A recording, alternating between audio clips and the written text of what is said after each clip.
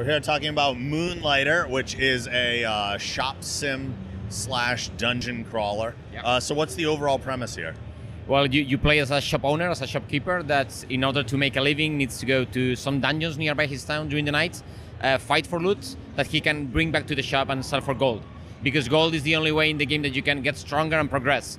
Because the the, the dream of Will, the, the protagonist of the game, is to become a hero like his customers. So slowly he will work hard to make his way, enter deeper than anybody else in the dungeons, and be famous about it. So it's like you split your time between these two things, moonlighting, to eventually pursue your dream. Yeah. And this is a combination of pretty much two different games. It's the dungeon crawling and it's the shop management. So, what Yeah. was when did that uh, come into it? Was it always I want to do both, or did it start out as one and then adding in the other? Well, i- the, the idea was from the beginning to mix the, the two concepts. Uh, it started as uh, like us making the question of what, what will it be to play as the shopkeeper of the traditional JRPG game or something similar. But from the very beginning, we had games like uh, Rogue Legacy or The Binding of Isaac in mind to add or the roguelike part to it. So we were always trying to make the game so it's it's two cores, it's two cycles will uh, synergize and reinforce each other. So when you're in the dungeon, you're thinking about okay, is this good for the shop? Is this something I can sell and profit from? And when you are in the town, you are always thinking about okay, I need gold to craft the stuff that I can use in the dungeon. So we want the two aspects of the game to be very. We, we didn't want it to feel like two games stitched together at all. We want them to feel uh, merged in, in the same thing. Yeah. For the art style of the game, what did you look to for influences?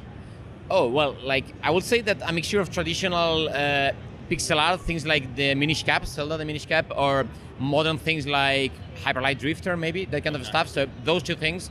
And regarding the art direction, probably things like Studio Ghibli movies, that sense of place that they achieve is something we always had in mind. Yeah.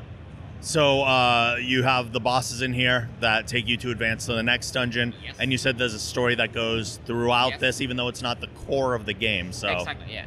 Yeah. So it, th- there is a narrative to the game, and there is an ending to it uh, regarding to this big mysterious gate that nobody has ever opened, and that explains why these multi-dimensional dungeons exist.